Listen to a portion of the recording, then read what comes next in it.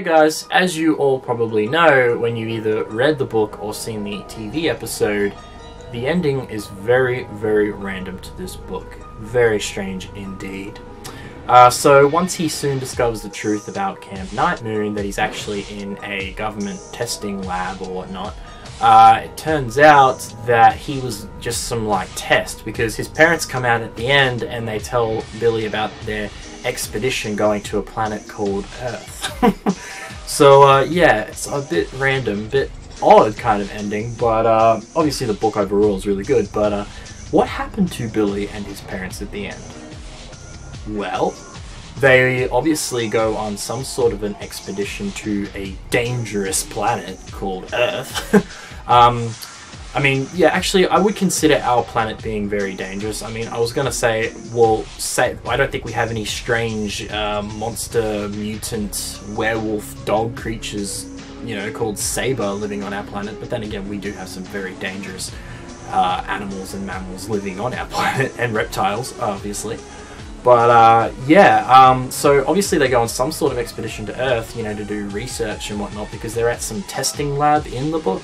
You know, that's where Billy is, so his parents are obviously all, all in on that. So uh, they obviously want to go exploring other planets. So the next planet they go to explore is Earth. and uh, yeah, it's obviously um, going to be very dangerous for them. So, uh, but uh, yeah, guys. Um, I mean, it pretty much tells you what's going to happen at the end of the book. You know, I mean, you just have to use your imagination, like any ending, really. But uh, yeah, this one's a bit funny and you, you can play around with because obviously they're going to be going to planet Earth and it's going to be really dangerous and they're going to discover that we have all these crazy, dangerous animals living here, reptiles like crocodiles and bears and you know. But uh, we don't have any like weird, crazy, yeah, mutant dog wolf beasts like Sabre living here. But um, yeah, uh, it's a pretty interesting. You know, it, it's one of the most unusual Goosebump endings. I think like, it's very strange and random.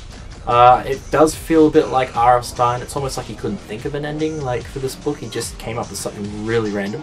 And then again, some of the books he's come up with something really random at the end. But uh, this one is definitely could be the holy grail of that strange endings for a Goosebump book.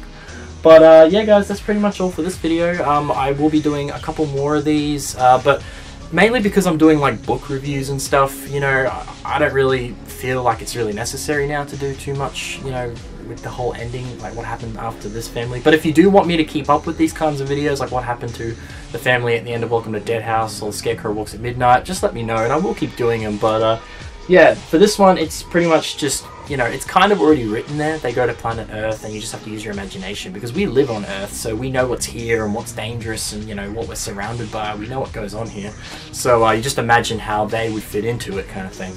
But uh, yeah, guys, um, thanks for watching this video. I hope you enjoyed, and I'll see you again soon.